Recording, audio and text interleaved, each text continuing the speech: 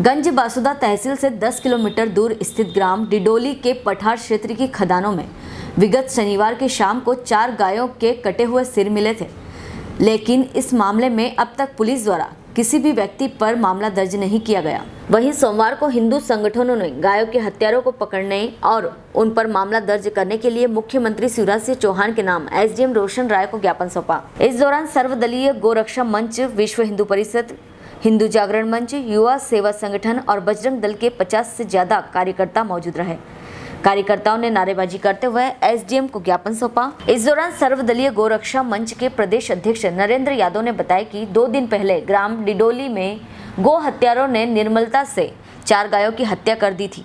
लेकिन दो दिन में पुलिस द्वारा उक्त लोगों पर कोई कार्यवाही नहीं की गई। इसलिए अगर 24 घंटे में पुलिस ने आरोपियों को नहीं पकड़ा तो हिंदू संगठन थाने का घेराव करेंगे और चक्का जाम कर विरोध प्रदर्शन करेंगे।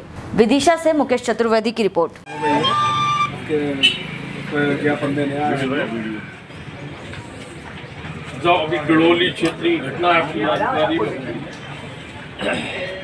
की में चार गाय की हत्या के हत्यारों पर कड़ी कार्रवाई हुई। उसके बाद आज तक किसी भी व्यक्ति पे कोई कार्रवाई नहीं हुई। जिस कारण संपूर्ण हिंदू समाज में एवं गौ भक्तों में रोष पैदा हुआ है। अत्यंत रोष किसी भी विधर्मियों को इस कृत्य की कोई कार्रवाई नहीं की गई है। हेलो फ्रेंड्स आप देख रहे हैं हमारा channel S W twenty four news हमारे सारे वीडियो सबसे पहले देखने के लिए आप हमारे चैनल को सब्सक्राइब करें और पास में लगे बेल आइकोन को दबाना बिल्कुल भी ना भूलें।